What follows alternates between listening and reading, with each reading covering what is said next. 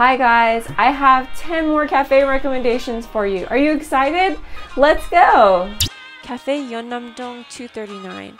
I've been to a lot of cafes and I have to say that this is probably one of the most creative and cute cafes that I've ever seen. I think it's one of my favorite cafes in Korea. The concept of the cafe is that you are walking into a real comic book and the owner slash artist does an amazing job of creating this experience. From the tables and chairs to the door handles leading to the bathroom to the trays and cups that your drinks and food are served on. When you go there, be sure to order the salted cheese latte. I know it sounds kind of weird, but it's such a unique flavor and it almost feels like a rich coffee dessert. I've had this at other places and nothing really compares to the one that Cafe Yeonnam-dong serves up. MND Coffee. The theme of this cafe is a mid-century hotel.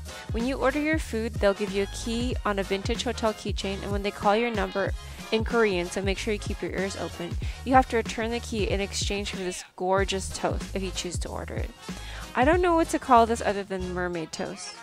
So when you're ordering, you can choose between pink and blue, and it also comes with a slice of fresh fruit.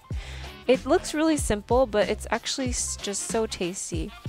And the coffee here is good as well. This cafe is in a really random area near Sookmyung Women's University, but it gets surprisingly busy around coffee hour, which is just after lunch. Deep Blue Lake.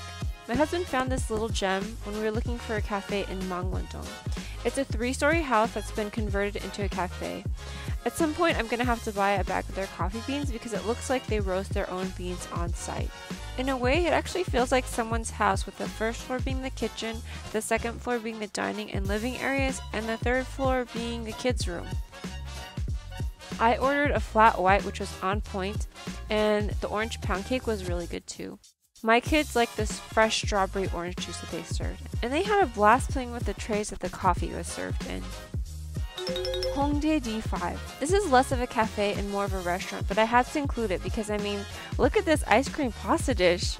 There are two floors on this cafe. The second floor is where we chose to sit, and it's super pinky and girly and has a real India Mahdavi kind of look to it.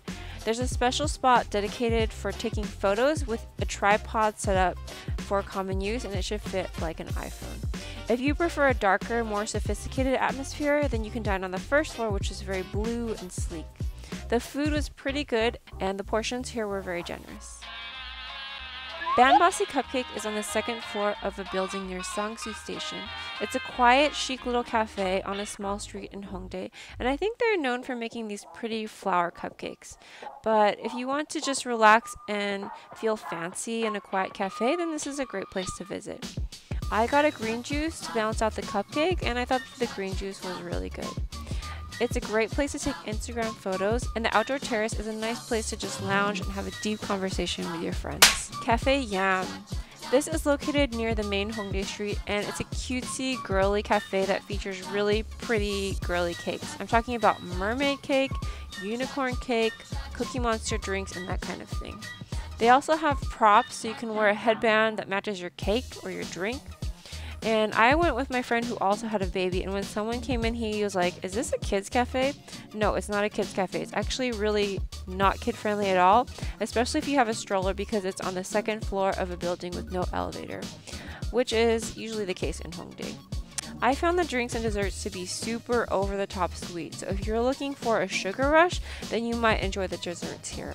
As for me, I just ordered them so I could take a cute photo.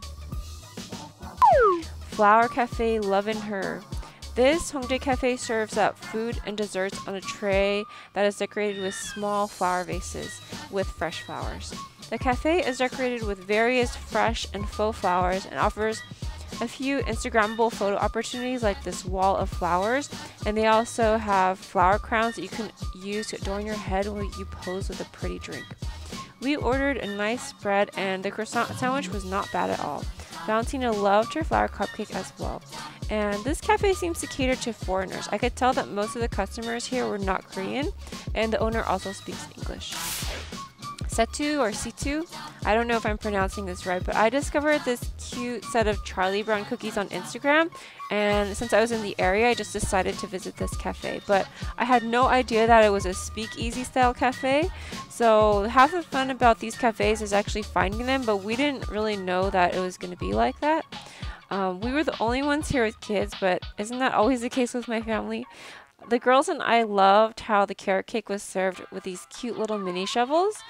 And the Charlie Brown cookies were amazing. They were filled with some sort of green tea butter and bean paste combo that seems to be really popular in Korea lately. I like this cafe and I thought it was really fun, but my husband didn't like it at all. So this is probably more of a girls' cafe. Sunny Angel Terrace. This cafe doubles as a Sunny Angel store, and I went here because I wanted to buy a couple more Sunny Angel blind boxes. Not that I need any more. My daughter actually likes to remove the heads and leave them scattered all over the house, but I just wanted to visit the cafe because it seemed really interesting and cute, and it was very cute. It's very Instagrammable. There's a bright pink VW van right in front, which makes for a great photo. And you can also buy special Sunny Angels figures that are only available in Korea. I ended up not getting anything here to eat or drink though because I didn't see anything that looked remarkable and I think that there are much better places where you can eat in Hongdae. But I think that the shop is definitely worth visiting if you like Sunny Angels dolls, which I do, and it's very Instagrammable as well. Osulloc 1979 Tea House. There are Osulloc shops scattered throughout Seoul, but this one is special because it serves up an afternoon tea set. You can't get this at a regular Osulloc store. This cafe is located in the Amorepacific building near Yongsan Station, and the tea set for two was 40,000 Korean won, which is less than 20 US dollars per person. Compared to other afternoon tea sets that I've had, this is a great deal, and the tea had an Asian twist to it because it had various green tea flavored desserts and things. Um, but overall, it was just really delicious and absolutely worth it. Osulloc is a tea company that's based in Jeju Island. It's kind of like the Teavana of Korea. And you can find a regular Osulloc shop across the building if you want to pick up some green tea or have a shaved ice. Anyway, I hope you guys found this video helpful. If you want to see more of these cafes in detail, I can do a dedicated video to a single cafe. And I probably will with some of the cafes that I really enjoyed. But if you liked it, please give me a thumbs up. And don't forget to subscribe to my channel if you would like to see more videos like this. I'll talk to you next time. Bye! Bye.